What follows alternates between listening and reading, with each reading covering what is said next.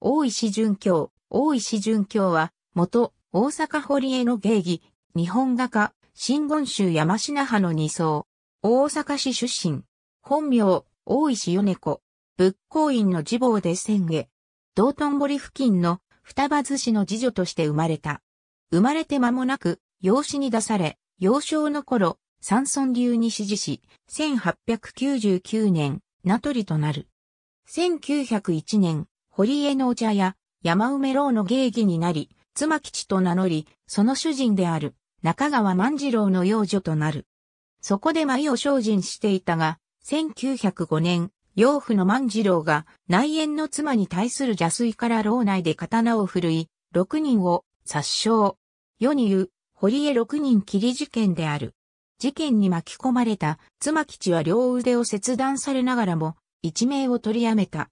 その後、彼女は地方に転校し、長歌、地歌などを披露しつつ二代目、三遊亭金馬の一座などに入り松川家妻吉の名で旅の巡業を始めるようになった。その間、巡業先の仙台の旅館で、カナリアがくちばしでヒナに餌をやる光景を見たことをきっかけに口で字を書く技法を習得する。1912年、日本書画家山口総平と結婚、同年に長男、1917年に長女を設けた。しかし夫の不倫により、1927年に競技離婚し、身体障害者の相談を始める。子供を抱えて、東京、渋谷で、サラサイを描いて、生計を立てた後、1931年に大阪の高安に用縦二層を志し、不女子のための収容施設を作り、教育した。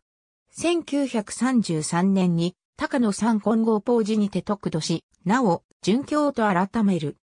以来、仏像の毎日を送る傍ら、1936年に京都市山科の果樹寺に移住し、新商社の相談所、自在会を設立し、自分と同じ立場の身体障害者の自立を支援する福祉活動に励み、1951年に達中寺院、仏光院を建立。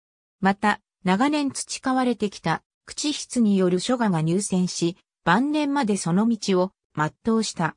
1968年、心筋梗塞により仏光院で入滅、遺体を検体した。